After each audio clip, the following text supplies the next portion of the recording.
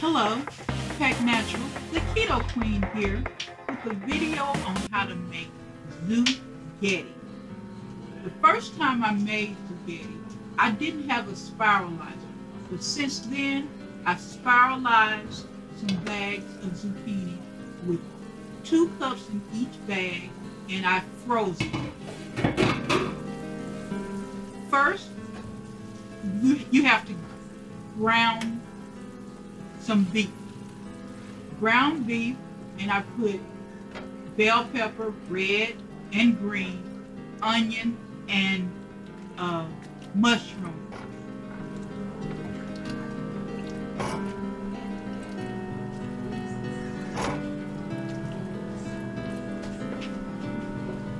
Season how you want, a salt, pepper, um, garlic powder, basil, oregano.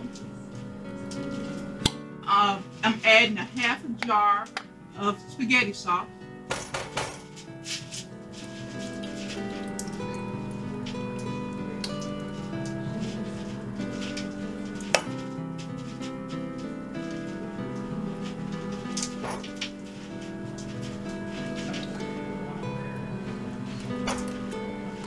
It's raining outside if you hear it hitting against the window.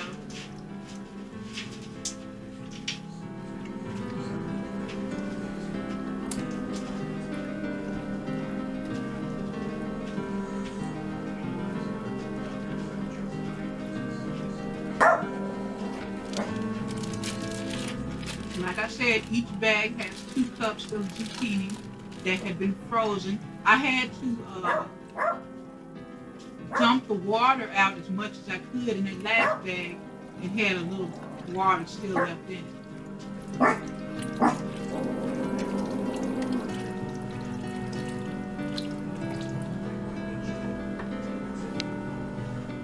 Here's the finished product. Now, I don't drain the fat from my meat. You can, but I just don't.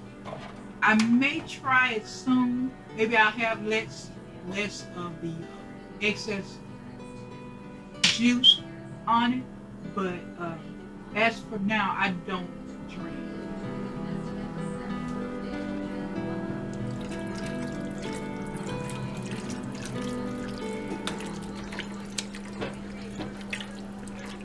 Some people split their uh, spaghetti zughetti up. You know, they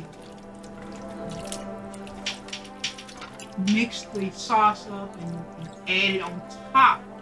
But I like my zughetti all made up, just like I like the sauce and the um, pasta all together.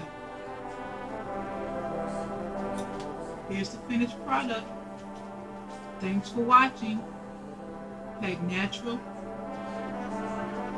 out.